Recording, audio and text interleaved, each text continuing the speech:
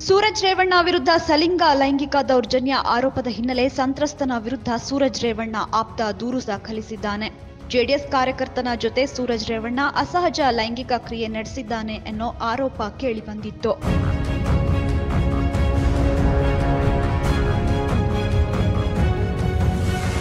JDS ಕಾರ್ಯಕರ್ತನ ಜೊತೆ ಸೂರಜ್ ರೇವಣ್ಣ ಅಸಹಜ ಲೈಂಗಿಕ ಕ್ರಿಯೆ ನಡೆಸಿದ್ದಾನೆ.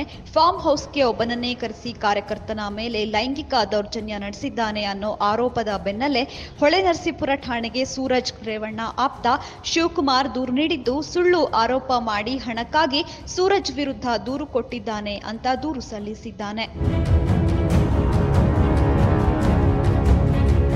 ಸಂತ್ರಸ್ತನ ವಿರುದ್ಧವೇ ದೂರು ದಾಖಲಿಸಿದ ಸೂರಜ್ ರೇವಣ್ಣ ಆಪ್ತ ಶಿವಕುಮಾರ್ ಲೈಂಗಿಕ ಕಿರುಕುಳ ದೂರು ನೀಡೋದಾಗಿ ಬೆದರಿಕೆ ಹಾಕಿದ ಬಗ್ಗೆ ದೂರು ನೀಡಿದ್ದಾನೆ. ಈಗಾಗಲೇ ಪ್ರಜ್ವಲ್ ರೇವಣ್ಣ ಜೈಲಿನಲ್ಲಿ ಮುದ್ದೆ ಮುರಿತಿದ್ದು, ಇದರ ಬೆನ್ನಲ್ಲೇ ಪ್ರಜ್ವಲ್ ರೇವಣ್ಣ ತಮ್ಮ ಮತ್ತು ಜೆಡಿಎಸ್ ಎಂಎಲ್ಸಿ ಸೂರಜ್ ರೇವಣ್ಣ ಸುದ್ದಿ ಬೆಳಕಿಗೆ ಬಂದಿದೆ.